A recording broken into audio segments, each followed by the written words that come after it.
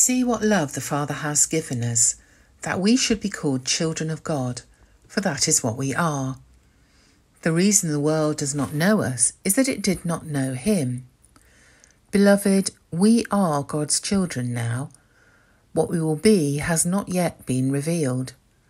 What we do know is this when He is revealed, we will be like Him, for we will see Him as He is and all who have this hope in him purify themselves, just as he is pure. Everyone who commits sin is guilty of lawlessness. Sin is lawlessness. You know that he was revealed to take away sins, and in him there is no sin. No one who abides in him sins. No one who sins has either seen him or known him. Little children, let no one deceive you. Everyone who does what is right is righteous, just as he is righteous.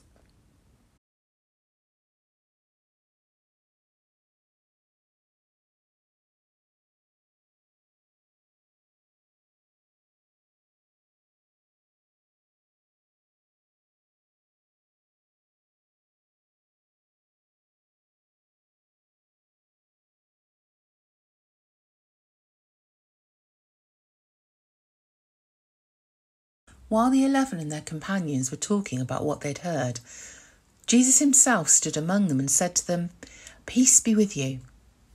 They were startled and terrified and thought that they were seeing a ghost. He said to them, Why are you frightened, and why do doubts arise in your hearts? Look at my hands and my feet. See that it is I myself. Touch me and see, for a ghost does not have flesh and bones, as you see that I have. And when he'd said this, he showed them his hands and his feet. While in their joy they were disbelieving and still wondering, he said to them, Have you anything here to eat? And they gave him a piece of broiled fish, and he took it and ate it in their presence. Then he said to them, These are my words that I spoke to you while I was still with you that everything written about me in the law of Moses, the prophets, and the Psalms must be fulfilled. Then he opened their minds to understand the scriptures, and he said to them, Thus it is written that the Messiah is to suffer and to rise from the dead on the third day, and that repentance and forgiveness of sins is to be proclaimed in his name to all nations, beginning from Jerusalem. You are witnesses of these things.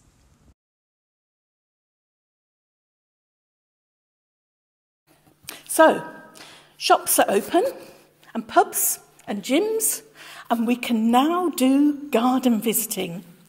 Yippee! Everybody get out there.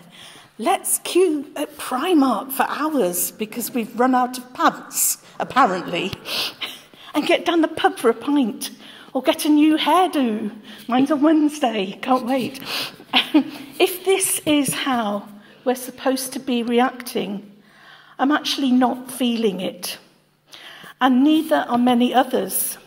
If anything, we have the opposite reaction stay in and hide, preferably under a duvet.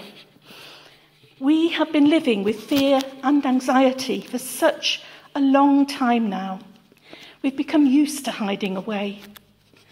Some have suffered serious trauma caused by the pandemic, bereavement, long term illness, unemployment, social isolation, loss of motivation. We've all been affected in different ways. And when I think about this, about my own fears of emerging into life again, I am reminded of the disciples after the death of Jesus. They had been through serious trauma, seeing the one they had left everything to follow crucified, and they were hiding. John's Gospel says they had locked the doors because they were afraid of the Jews. They were licking their wounds and trying to come to terms with the idea of going back to their old lives as if nothing had happened. Their adventures with Jesus had come to an end. Now, in Luke's Gospel, this story comes right after the one about the two disciples on the road to Emmaus. And after having encountered the risen Jesus, they turned round, went back to Jerusalem, and showed up on the doorstep where the eleven were hiding. We're not told how the conversation went, rather annoyingly, but I imagine they heard the story and just didn't know what to think. Mark's Gospel says they didn't believe it. There must have been some skepticism and definitely confusion. I mean, if it was true, what did that mean for them?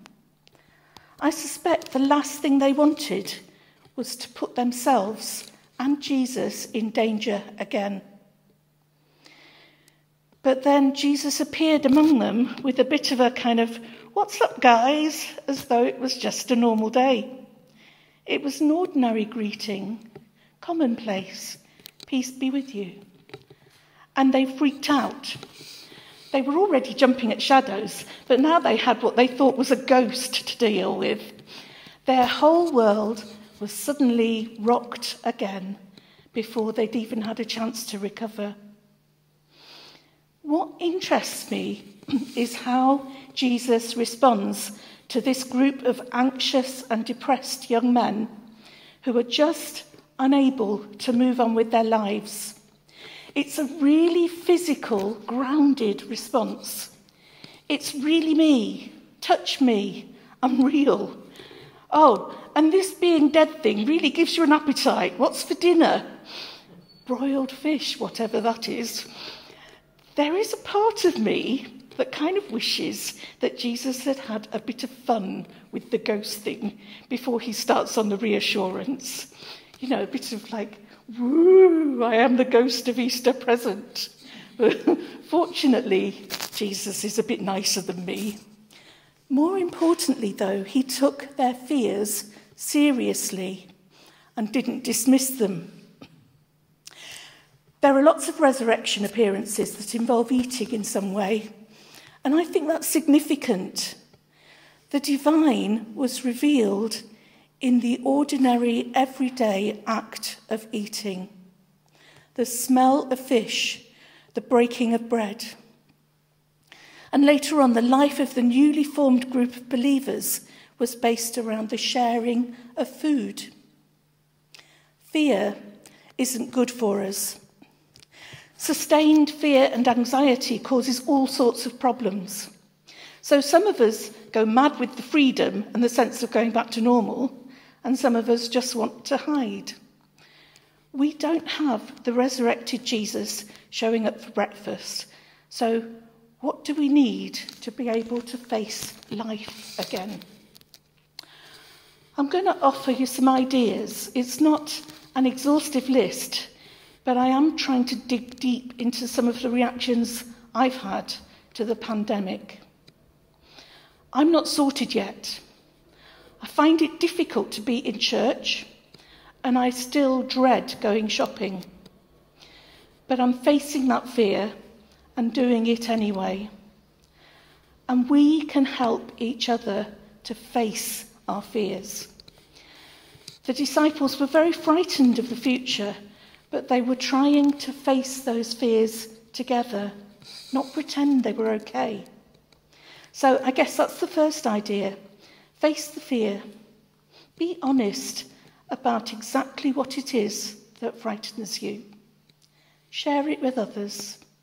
Get help if you need to. There's a phrase, feel the fear and do it anyway. Sometimes that's how it works, because if we don't, our lives gradually become more and more limited. And we will be stuck hiding in the locked room with the disciples, wondering if real life will ever return. The second thing is we need to encounter Jesus. We need to recognize the divine in the ordinary stuff of life. It's important that we connect physically with the world especially when we're frightened. We need to notice it, breathe, touch, taste, hear, see. We need to know the ground is still beneath our feet and we're not in free fall. Mindfulness techniques can help, being deliberately aware of your surroundings.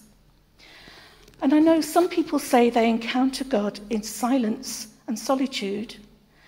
And if that works for you, go ahead. But personally, I find trying to do that stuff can increase my anxiety. It's not good for me to spend time inside my head. I'm not an expert on mental health by any means, so when I was thinking about this talk, I looked at the website of the Mental Health Foundation to see what they said about fear. That's a charity that promotes mental health. And I was really, really interested to see what it said about faith and spirituality. Here it is. If you are religious or spiritual, it said, this can give you a way of feeling connected to something bigger than yourself. Faith can provide a way of coping with everyday stress. And attending church and other faith groups can connect you with a valuable support network.